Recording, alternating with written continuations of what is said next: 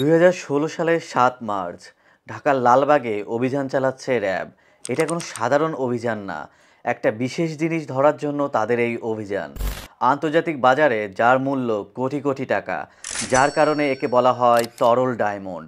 ওই অভিযানে উদ্ধার করা হয় বারো পাউন্ড সাপের বিষ, যার বাজার মূল্য আনুমানিক পঞ্চাশ কোটি টাকা। দুই হাজার পনেরো সালের চব্বিশ জুলাই সিলেটের কানাইঘাট উপজেলার রাউত গ্রাম থেকে একই পরিমাণ গোকরার বিষ উদ্ধার করে র্যাব নয়ের সদস্যরা। শুধু সিলেট না, চুয়াডাঙ্গা, জয়পুরহাট, ঢাকাসহ দেশের বিভিন্ন স্থান থেকে গত দশ বছরে সাপের প্রায় পাঁচশো কোটি টাকার বিষসহ বেশ কয়েকজন চোরাকারবারিকে আটক করে আইনশৃঙ্খলা বাহিনী। কথা হচ্ছে, সাপের বিষ এত দামি কেন? এ বিষ দিয়ে কি করা হয়? কেন একে তরল ডায়মন্ড বলা হয়? এসব কিছু নিয়ে আজকের ভিডিওতে বিস্তারিত আলোচনা করব।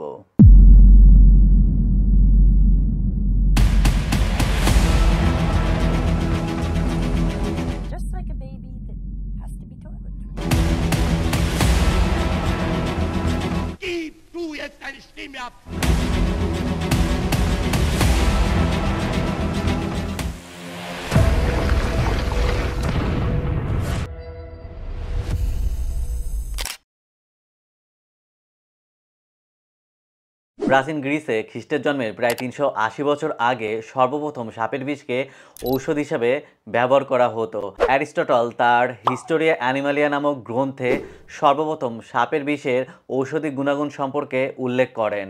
রোমান সভ্যতায় সাপের বিষকে স্মল পক্স কুষ্ঠ, জ্বর এবং অন্যান্য ক্ষতের চিকিৎসায় ব্যবহার করা হতো। র্যাটেল স্নেকের বিষ মিগি রোগের চিকিৎসায় ব্যবহার করা হয়। এছাড়া ভাইপারের বিষ রক্ত বন্ধ করার কাজে ব্যবহৃত হয়।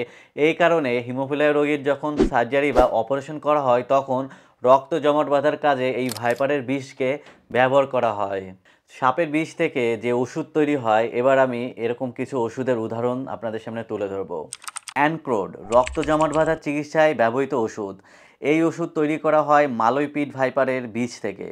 সি ক্যাপ হলো উচ্চ রক্তচাপের চিকিৎসায় ব্যবহৃত একটি ওষুধ, যা ব্রাজিলিয়ান পিট ভাইপারের বিষ থেকে তৈরি করা হয়।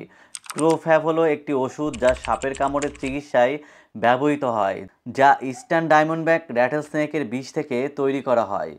সাপের বিষ এত দামি কেন?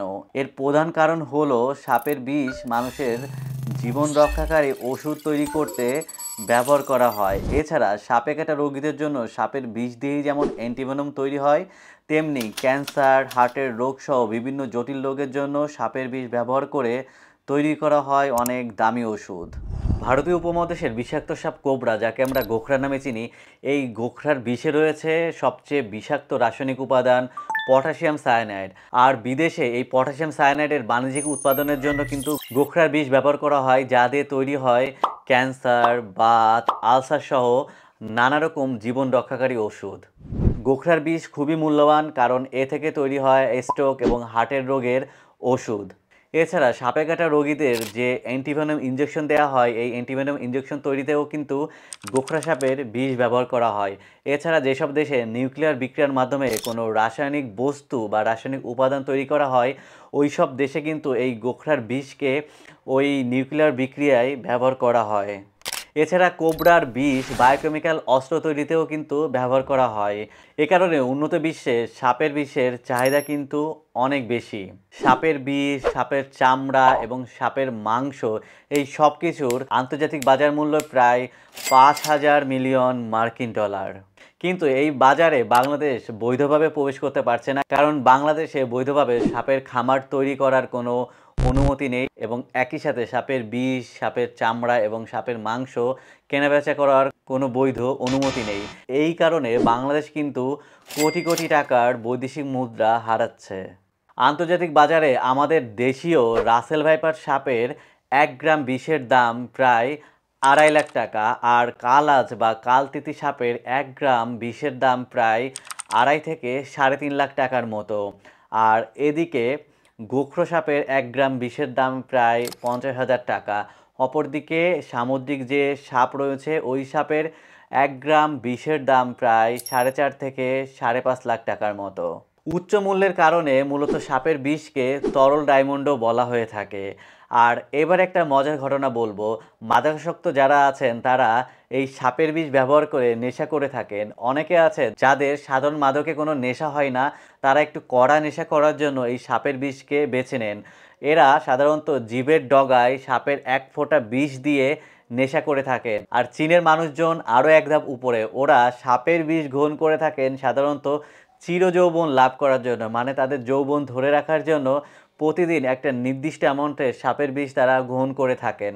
বাংলাদেশের বিশেষজ্ঞরা মনে করছেন, সরকার যদি সাপের খামার তৈরি করার এবং সাপের বিষ এবং সাপের চামড়া ও মাংস বিদেশে রপ্তানি করার অনুমতি দেয়, তাহলে বাংলাদেশ কোটি কোটি বৈদেশিক মুদ্রা অর্জন করতে পারবে।